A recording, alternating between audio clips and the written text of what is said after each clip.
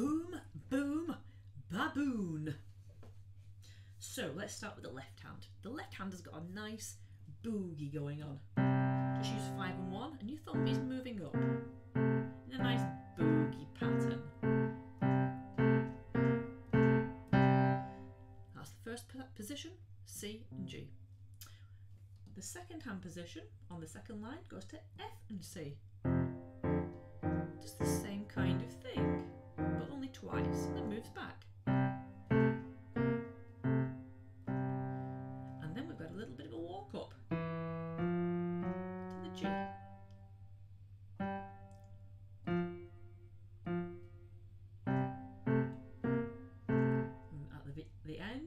G, C.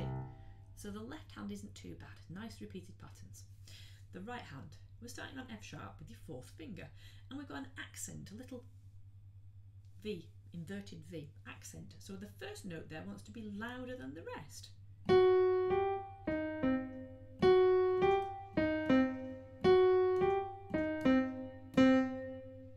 Okay, so it's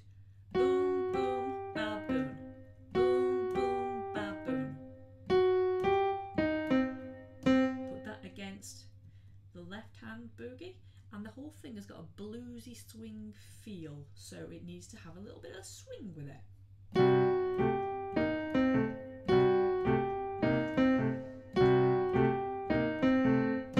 Two, three, four, three rests in a row. That lets you get your hand position for the next part. Okay, so I've already shown you the left hand part. It's just going to go like that. Just move your thumb up.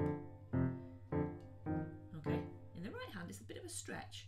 Your fifth finger is going to top C, and a bit of a stretch there to the G with your third finger. And E flat. Try not to do this.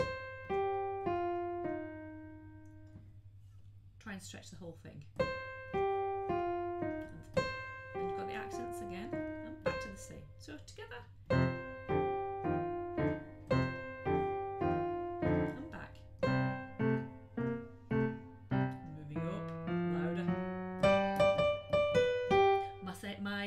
saying, What a load of rubbish.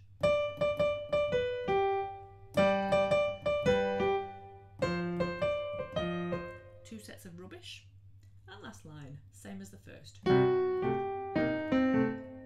Okay.